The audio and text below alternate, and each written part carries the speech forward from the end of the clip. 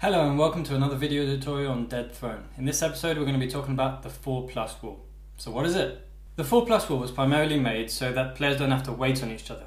As you can imagine there are up to 7 players in the game so that can involve a lot of waiting, especially with awesome battles and trying to figure out what items you want to buy and sell in the market. It can take quite a while. Now there are two situations where the um, 4 plus rule will be incorporated and that is battles between players and when players are in the market. Now, as the name says, it has to be four or more players in the game. And if there are four or more players in the game, then players can enter battles amongst each other and do so in their own bubble. So, for example, these two players, they're battling amongst each other. The other two players that are out of the game can continue moving around as normal.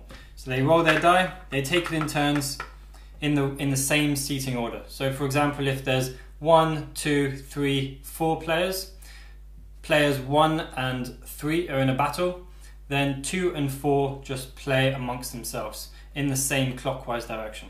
So this guy moves around as normal as he wants to, and then it's the turn of this person over here, and they go into the market. Now they are in the market, they are also in a bubble. These guys are battling, no one's caring about them, but this person is also in the market doing their own thing, buying and selling, however long it takes. It's up to it's up to this person here. This person now is the only person who's outside of any bubble. These guys battling, market. Because they're the only person and they don't have to wait for someone else's turn, we say that you wait for about 15 seconds, count in your head, about that before you move. Otherwise, you're moving around a bit too much and it can cause a bit of, bit of chaos.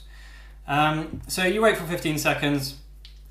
After a few turns, this person comes out of the market and then you're back in the normal seating order um, rotation of the game.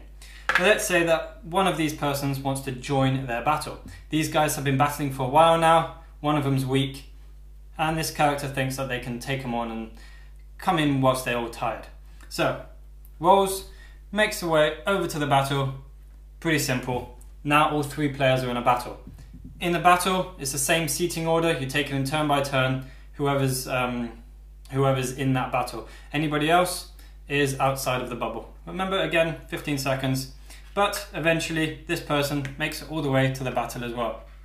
And now there are four players in that one battle. So every player is taking it in turns in that battle.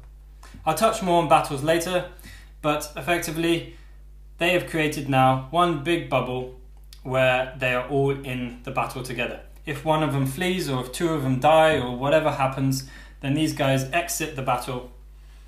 If it's died, then it stays out of the game for one turn. This person fled, so he's out, out and about.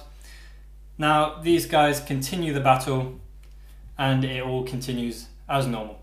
The one thing to remember is that if someone does die and leaves the game, can't respawn, then you are now in three players. So you can't use the 4 plus rule anymore if you are in a battle, then you take it turn by turn in the normal seating order.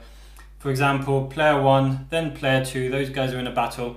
Player three has to wait for them to finish their turn. Kind of like a like like it normally would be without the four plus rule. Now, as I've said, four plus rule, when when there's a bubble, people can join ongoing battles, multiple battles can be happening at the same time, and everybody can come together to one big battle. Uh, it reduces the amount of time you're waiting around and it allows the game to flow in a more natural and realistic time frame, which is uh, which adds to the excitement.